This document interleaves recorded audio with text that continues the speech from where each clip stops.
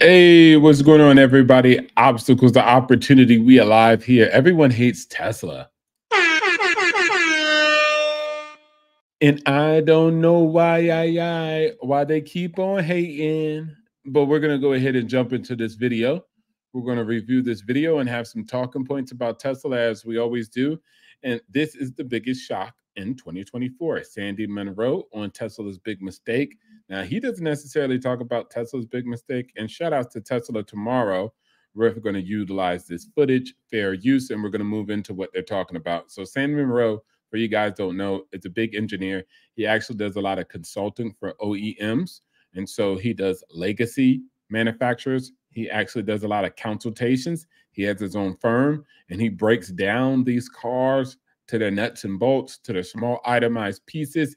And if you see those big books in the background, those books are itemized pieces for the cars. So he actually figures out the manufacturing process and actually what these companies are paying for the car in its whole entirety. And that's a lot of pieces, guys. So they do a lot of work. And so we're going to move into this and see what Sandy Munro is saying. And he's a big supporter of Tesla, not just because Tesla is Tesla, but because they're really good at what they do. Let's get it. Tesla is rolling in dough. I don't know where they hide it or how they do what they do, mm. but I can tell you right now, I work for several different big automotive companies in Europe, in Japan, and here in the United States. And I can tell you what, nobody can do that. Nobody, absolutely nobody. Nobody. 600 bucks. Remember, I told you a second ago, $600 is mm. what you pay for marketing of a car, and they don't have to do it. So he's talking about Tesla. They have a low marketing budget. A lot of companies are spending $600 per car to market their car. He's saying that they don't have to do it. They don't spend much money on advertisement, guys. And a lot of capital in any company goes towards it and its marketing. So when you look at gross margins for a normal car, you basically say, I started with, uh, let's say somebody out there has got 30%, which they don't, 30% margin. You'd whack it and you'd wind up at the end of the day with about three or four percent net profit. How much does Tesla make in net profit? Take a wild guess. If you now he's talking about OEMs. They don't, they got about net profit on their margins is around four percent. Now, if you think Tesla is smaller or equivalent to that, equivalent than that, then you have a problem. But let's continue. You're less than 20%, you're a fool. You don't know what you're talking about. That's the starting point. Now you go on top of it. So when I said that Tesla so he's saying, and this is Sandy Munro, he breaks down these cars, he knows the prices. Somebody might say, oh, he's a liar, he doesn't know what he's talking about. But if you're below 20% on that net profit, then you're mistaken. But of course, when we look at the sheets and the financials, it does come out to be double of what OEMs actually make. So it's still around 10, 8%. But net net, Sandy Munro is saying it's way more than that, guys. And now, if you add on other things and other services, it's way more. But let's continue. Tesla could cut their profits in half and still make more money than any car company on the planet. I am not kidding you. We truly do know what things cost. And a lot of people will essentially talk based off of a yes. napkin. Yes. Um, I, am going to highlight that before Sandy goes at you guys. And so they actually know, once again, look at that binder behind them. They actually know how much things cost. So they're not specu- speculating and they're not talking off of the back of a napkin or let me even be more professional, an Excel spreadsheet. Okay. They've actually broken the car down. Other people aren't breaking the car down and figuring out what's going on. They're not on the ground. This is why I said, guys, it's good to have that advantage of being the observant investor versus the analytical investor who just looks at things on the aftermath, only on a spreadsheet. I'm not saying don't look at spreadsheets, right? But I am saying that these are specialists, people who are on the ground breaking down a car item for item. In that book, everything is there as far as prices are concerned, and they actually know how much it costs. But a lot of people are just talking out their rear end and assuming that they know something.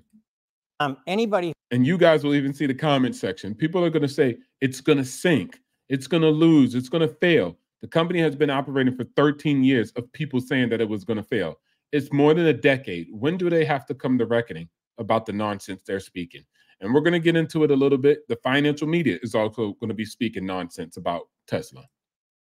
Anybody who's ever seen a Pet Detective, I, I wanted to do it all by myself when he started talking about talking through your and he yeah but they won't let me do that here. Um, apparently it's degrading and the woke people will get all upset and stuff like that. So i'm not going to do that. I'm not going to do the talking through my thing. But if you go to jim carrey who's you know kind of like a hollywood guy and you go to pet detective and you go and see him he talks through his and that is precisely what i'm getting when i see people some the last one i could not delete the email fast enough. I, I i can't believe that people can be so incredible helen hadsell was able to win any competition she stupid. And they're the ones who are telling the market what to do? What are you kidding me? Are you joking so definitely, right? The people who are speaking about Tesla as a company don't even understand the technology. They don't understand the manufacturing. They don't understand itemized pieces of the car in particular in detail, like these guys understand. These guys have never been in any factory ever, let alone understand what's going on at Tesla. I mean, the most you see reporters inside of actual business of operation is re- recently since NVIDIA has done its crazy amount of growth and AI and the boost and whatever. Now reporters are like, let's go to the headquarters and see what they actually do. but that's it, right? And they're just going to the headquarters. They're not combing through the details. They don't even understand what's going on themselves. They're just riding the wave. But yes, a lot of people, even in the comment sections, you'll see them. Everybody loves to hate Tesla. They're going to talk out their booty cheeks. This is the best move that Tesla could possibly make. They will eliminate, annihilate their competition because their cars are cheaper than anybody else can make them. And now they're cheaper than that. How is anybody going to be able to compete? So here's the thing anytime you've got a truck, you're going to pay more money and there's way more profit in it. If you don't think for a second that uh, that Ford's move to uh, electrify the F 150 wasn't the most brilliant move by any automotive company apart from Tesla. any company in, uh, in the world, you're out of your mind. Ford made a genius move with the F 150. Genius. And, um, and I can tell you. I agree. F 150 is pretty popular. So if Ford gets out of its own way and kind of start to be in this industry as far as EV, then I think they could do good for themselves because F 150 is just loved by Americans, right? The Cybertruck is amazing, amazing engineering, regardless of how you feel how it looks. It's amazing engineering, but people have this nostalgia and this strong relationship with the F 150. Tell you for sure uh, that uh, that they are moving faster on electrification than any of the other OEMs that we know of. None of them are coming out as fast with as many different versions as they possibly can. This these guys are are they're they're survivor. Tesla, Tesla will clobber everybody except for the Chinese. The only reason there is that um, even though they've reduced their costs and whatnot, there is a, a stigma that was created by our own government, um, and uh, now Americans are losing favor in the eyes of other parts of the world. China being the, the one in particular. So they're, they're probably not going to be able to eclipse them. But, but remember, Tesla is running at a 40 second station uh, uh, station time. That is- yeah. Now let's look at that 40 second station time. But to go with Sandy Munro, BYD is a great competitor, and the market is there, man. The future is there. So if BYD does great and Tesla does great, it's still room, right? Tesla doesn't necessarily need to be number one. Being number two is good, but there's a lot of demand to go around. And there's massive amounts of other products and services that Tesla also sells on top of just the car. So let's look at this time. He's talking about 40 second station time. Now, I'm going to let him continue so you can know what other competition is doing. And remember that the manufacturing process for a car is not easy. It is not simple, guys. It is complex is phenomenal. Nobody in the U.S. None that I know of. everybody goes to about 60 and that's about it. They're doing 40 seconds. Every 40 seconds, another car is coming off the line. Nobody's got that. I believe that I believe that that's why they're talking to Indonesia.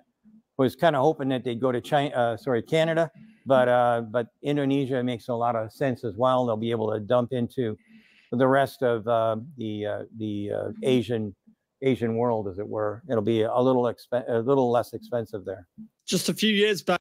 And I know that they're also talking to Thailand. Now let's go back before we move forward in this video. And he's talking about that 40 seconds, right? Off the line, 40 seconds, Tesla is killing it when it comes down to how many cars are coming off the line. Remember, the manufacturing is something not to be messed with. It is unmatched. Even but even great engineers like German or Germany, excuse me, and Japan have said that Tesla and the Model 3 specifically from Toyota that the Model 3 is a work of art. It's a masterpiece. All right. And 46 seconds to assemble a car. A new car body rolls off, body in white workstation, GAC Motors factory every 46 seconds, thanks to ABB's innovative body in white robotic automation solution. And we're ahead of that. As I said again, the cutting edge technology at Tesla is all in the manufacturing, right? Unmatched. Now let's allow the guy to move into the next segment. back, Elon Musk was in a pile of debt and he went under in a bid to buy Twitter, now X. And while it seemed like a strategic move at the time, things weren't exactly looking all sunshine and rainbows for how to pay it all back. And apparently things just got even bumpier. But that's not even the problem. Where it becomes now, let me pause it right there because this is a trend. And a lot of things that Elon does, that's a trend, right? PayPal, same. Tesla, the same. SpaceX, the same.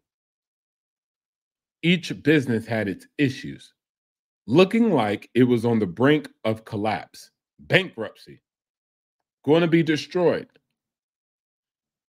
And if you bet in Elon or if you bet against him, you're probably going to lose. He's changed the platform X to make it more effective and efficient. They're finally breaking even. And so where it goes from here is up to Elon. But Tesla, not too long ago, and SpaceX, not too long ago, was two seconds. I think Elon actually said a couple of hours from shutting down. Both of them. So it, it, it, once again, all companies actually have been through this. Apple had its issues. And so we see an issue and we're like, oh, it's over. It's not really over, guys. You're getting ahead of yourself. When the door is shut, when the door is shut, now you can say it's over. Becomes alarming is that Tesla investors who've been banking on the automaker's long-term success may have to take the fall for it time, we take a look at Tesla, which mm-hmm. is at 176. The high over 52 weeks was basically just under $300. It was 299 and and see, once again, guys, these people they only track shit for a week, for a couple of weeks, for a quarter, for year to date, year to year. It's all this nonsense, all these markers, all this play play. They're playing a different game. Okay, they're talking to a different people. I believe that when you guys look at a layout like this and you listen to people like this, this is for the professionals. This is for people who manage accounts, right? They manage institutional money, they manage pension funds, but this is not for the retail investor. This information is not for the retail investor. You see, they got all these computers. That's for day traders, right? Quarter traders, monthly traders. Like that's who that's for. All right. So people who manage a portfolio and have to perform every quarter and get annual reviews and nonsense like this. So if you're in that game, then watch this. It's useful somehow. But if you're not and you're in for the long term on any blue chip stock, then this is not where you want to go. You want to go where people are going to provide you that insider information. They're going to provide you with the nuts and bolts of what it takes to build a solid company. See, these guys will just figure it out later on when the price is so low and the demand is so high and then it comes across their sheet, but they don't get it and they don't understand why. Hence why a lot of media companies are now going to NVIDIA like, what? What are you guys doing? What's the process? Can we see the headquarters? Can we figure out what is a chip? How does it work? Now they're on it, but they're not on it until the sheet comes across that says we've killed it in 2023. Shout outs to NVIDIA. 50% margins, right? But they don't know they weren't when they weren't with Nvidia shooting in the gym, so they don't know how they got there, why they got there. They don't know who, what, when, why, where, and how. All they know is the company. And change, and when you say uh, where it was hot, and you know Nvidia, you know, are EVs hot anymore? You know, the trend of EVs coupled with intense um, competition mm-hmm. for Tesla. What do you think here? Well, because this name, let me see, year to date down 28%. Down 28% after being up 100% last year, but still lagging because uh, it never really made those all time highs, making back those losses from 2022. So with, with Tesla. And, and, you see how they talk uh, year to date, year to year, since this point at the 300 moving forward, haven't made it high since this time. Like, let's go to the charts, man let's just take a second from these guys who are talking about trends. Mm-hmm. We're talking about stocks. We're talking about how do they have a competitive edge. We're talking about their products and services. They're talking about what's a trend. See, we talk two different languages, man. And if you look at it for the last five years, right, the company is at 868. If you were prior to five years, shoot, max, if you were almost, mm-hmm. let's just argue 10, 13 years ago, you guys are looking at 13,788. But let's just go five years, right? That's a that's a small amount of time, guys, and and there's a return of 868.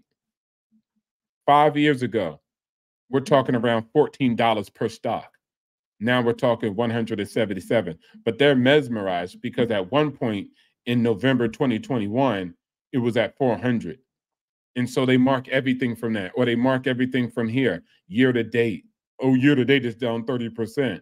Buying opportunity for people like me. For the year, it's only up 2%. Oh my gosh, it's underperforming. But once you take it back a little bit more, five years, that's a crazy return. A lot of companies never do that. We're talking about a company right now, even at this lower price, is 557 billion in market cap mm-hmm. value. And they still have a lot of things coming up into the future. Right? Mm-hmm. They're starting to actually see capital come from the energy department, but nobody cares. It's okay. You don't need to care. It's okay. You don't need to understand. We want them to be at this level of ignorance. We want them to be in the dark mm-hmm. because that creates the opportunity for observant investors to invest in said company, whether it's any company, right? Not just Tesla, but any company, to understand what's going on before Wall Street does. Because once again, she's looking for trends. I'm looking for a business. I'm looking for a great business. Tesla, it's getting looked at more like a car company. And when you think car companies, you think Ford, GM, these have been boring stocks that have kind of been stagnant the real investor, the people that follow Elon Musk, they know him as a visionary and look at the technology behind it and right. traded it like an AI play. That story has changed because they haven't been delivering. They haven't had the next big thing for Tesla. And then people are concerned. Is Elon Musk worried about too many other things? Is he worried about X? Is he worried about the boring company? Is he worried about space? Um, you know, I would never bet against Elon Musk, but right now Tesla has been. And it's not about Elon Musk so much. These guys make it about Elon. I would never bet against a great company, Tesla, period. We still have kick ass people at Tesla. I mean, who's in charge of building out factories and operating them? I can't remember the gentleman's name right now, but that guy's kick ass. He really does a great job, you know? He was in China, Shanghai, like he killed it. And so we brought him even to Austin, Texas to add the same value when we were scaling Austin's factory, Gigafactory. And so it's the company. I mean, Elon can be great and he can be a visionary, but if he doesn't have key personnel like that making moves, we have a problem. I mean, Elon found the individual people and created OpenAI, which you guys know as Chat GPT. He created the team. So it's about the teams he create, not so much only his vision. Like he doesn't sleep and have visions and hallucinate. And that's why people are like, I'm going to invest in Tesla because Elon hallucinates and he sees vision. No. He doesn't only see a vision, he builds out a team that sees the vision and carries on that legacy, carries on that deed. So that's what it's about. But if you listen to these guys while you're eating your fruit roll ups, or you listen to these guys while you're scrambling your eggs with a newspaper and a suit thinking that you're doing something, then you're going to be lost. You're going to be lost. All right. And so other people can say, well, you know, Tesla is, isn't doing this one and, and it isn't doing that and it isn't doing that, but Tesla's doing great for itself. So we have to really think about this. Let's continue to move on. You know, it's been missing the ball. It's been dropping the ball, and Right. shareholders are just, you know, they're getting out and they're waiting to see when the next opportunity would be to buy, and it, it just hasn't arisen in the last few. So they're getting out, they're getting in the market, but historically, truthfully, people don't succeed. You're telling me about a what a bunch of people are doing in the market, getting in and getting out, but they're failing. They're failures. Why would you give me the game plan of a failure? Even the people who are managers and analysis and all this other stuff, CNN, stock market contributors, like you look up their scores and they're and they're losers. Like they're always wrong. They're not getting a dub. They're not figuring things out. But we're sitting up here listening to these guys talking about, oh, he said get in and get out. And he said that nobody sees the EV and his buy and sell rating and his hold position, da da da da da. And as you look back, it's nothing but failures. As you look back, none of them are outperforming the market. None of them are outperforming just the index. So why are we listening to them at all? Because that's what industry does. Mm-hmm. And we do something different. But that that's good for them. I'm not mad at them. I don't want them to change their format. Mm-hmm. I want them to continue to go the direction they're going. And where we come in is we come in the between. We take companies from after they IPO, we purchase them at a price prior to everybody realizing their potential, right? We're buying NVIDIA prior than everybody caught up in the hype. The CEO was the man that he was. But even more important than the CEO was the people who worked at NVIDIA and the work that they put in. So you don't have to see the AI play. There's people in the streets that see the AI play. Like you're caught up in a cool chat module, like almost Google 2.0. And you're ignoring a robot that's driving through the downtown streets of Austin, making things happen in the real world. So this is what I'm saying. Let other people be ignorant. Let them not see the vision. Let them not even see damn a vision, the reality.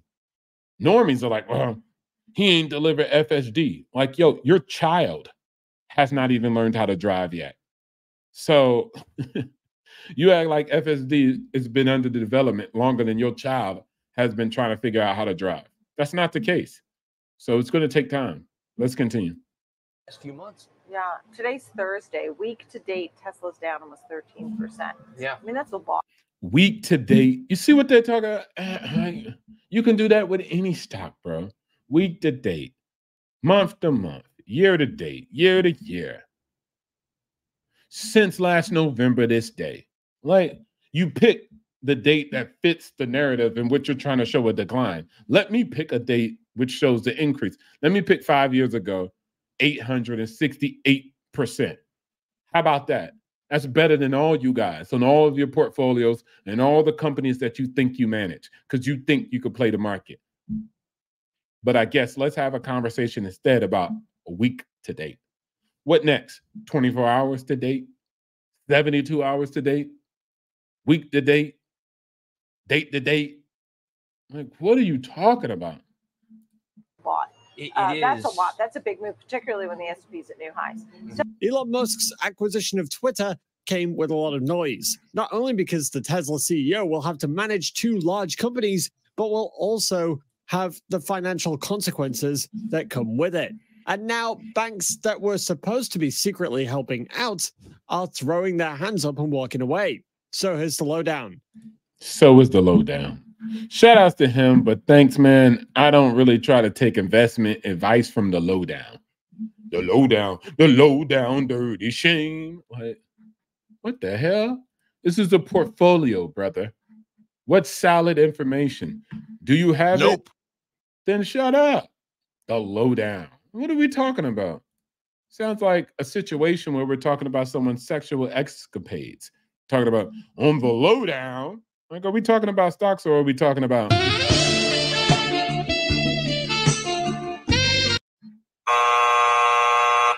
On the lowdown, lenders aren't trying to like, bro. What? Those are two different vehicles.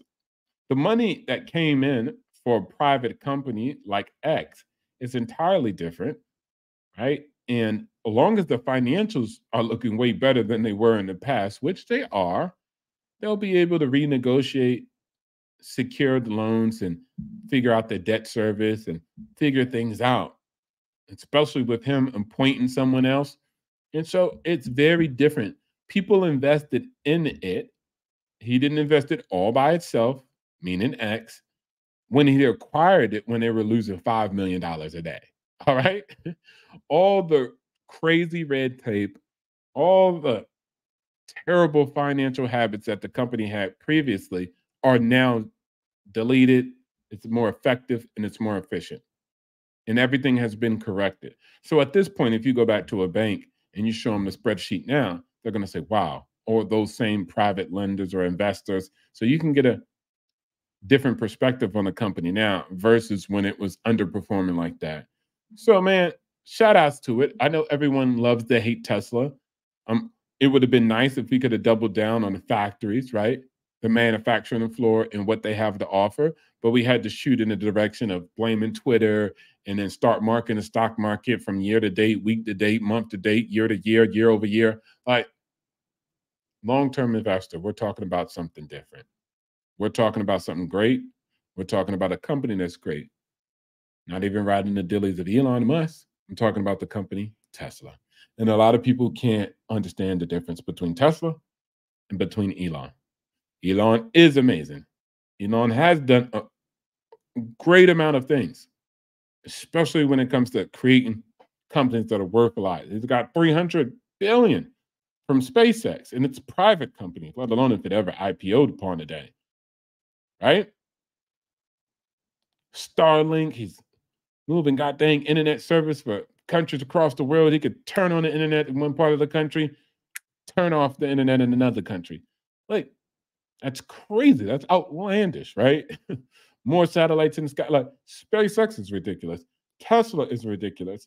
When you start looking at all these other different type of avenues, which I spoke about in the domination of Tesla.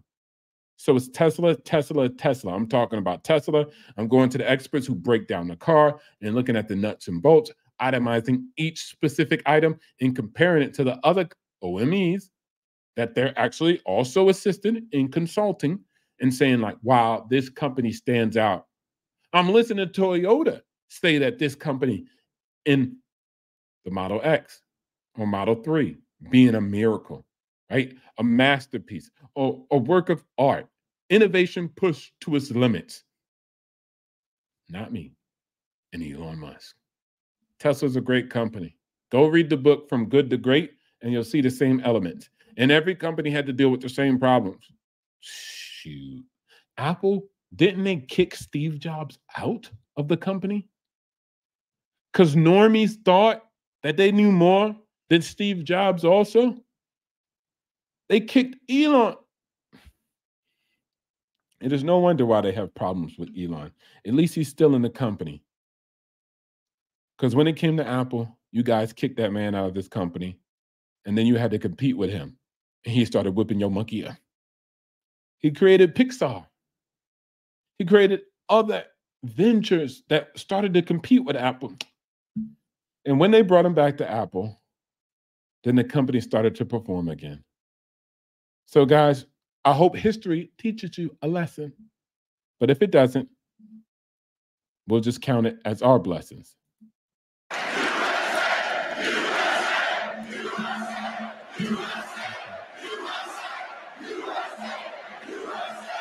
Shout out to everybody. Thanks for watching another episode of Everyone Loves to Hate Tesla. I know you guys do. And if you continue to hate on Tesla, I don't care. But if you're here to invest in Tesla in the long way, on the long run, then give me a Give me a hell yeah. What? What?